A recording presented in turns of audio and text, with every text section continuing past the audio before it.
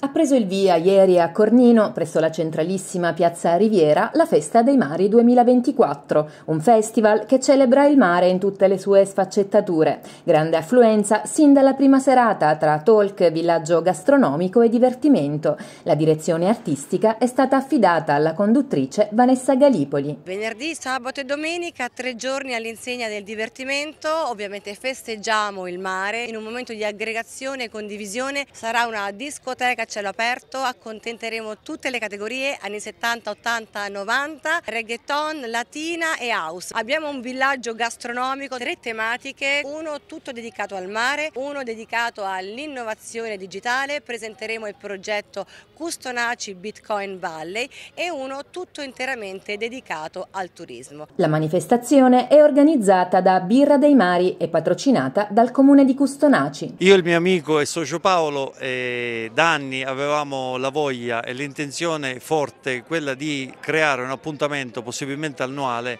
che fosse veramente dedicato a quello che il mare da sempre ci regala e da quello che il mare da sempre ci offre. Abbiamo voluto creare anche gli approfondimenti, i workshop, dedicando ogni anno nei tre giorni delle tematiche forti. La festa chiaramente è una festa per tutti, ecco perché gli spettacoli sono totalmente gratuiti perché l'aspetto sociale dei nostri sforzi deve essere sempre priorità e faro del della nostra azione. Siamo qui al secondo anno, l'anno scorso abbiamo iniziato a Custonaci, quest'anno a Cornino e a Cornino continueremo a essere. È uno di quegli eventi su cui noi puntiamo in maniera importante come amministrazione comunale perché mette insieme tutta una serie di fattori, segmenti di ragionamenti, poi in un contesto straordinario, la nostra Cornino da questo inverno Borgo Marinaro riconosciuto ufficialmente dalla regione siciliana, è veramente qualcosa su cui spendersi in una proiezione di carattere di turismo sostenibile per il futuro dove non soltanto una nicchia ma sempre più persone attraverso una sensibilità che venga sviluppata fin dalle più giovani generazioni possa fare di Custonaci, di Cornino ma anche dall'altra parte della riserva Montecofano di Frassino ecco,